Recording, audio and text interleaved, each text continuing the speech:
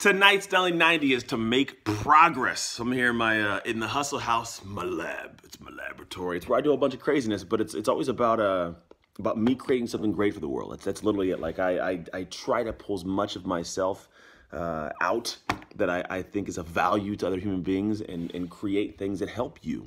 And what the crazy part is is it's always a work in progress. Just like you there's always this thing you want to reach you want to get to like for me there's a lot of things i want to create and build and every single day i get up and i make a little progress little and i get excited about it which keeps me driving. The problem is sometimes you make little progress and you get beat up. You feel more like you like you've been just demoralized everything falls apart like because you're not celebrating the small wins. If you don't celebrate the small wins you will never experience the big win you have to fall in love with the process and enjoy, appreciate, and celebrate every single little bit of the progress. Because if you don't celebrate the progress, you're gonna miss out on all the beauty that this journey has to offer, because it's a journey.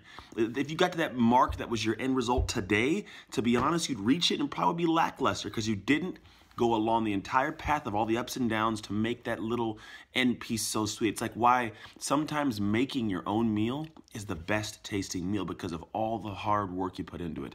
So when it comes to your journey, your goal, your vision, whatever that thing may be, go ahead and enjoy the progress, all the little bits along the way, because that way it makes the end result amazing, delectable, so they say. Share this video, and as always, God bless.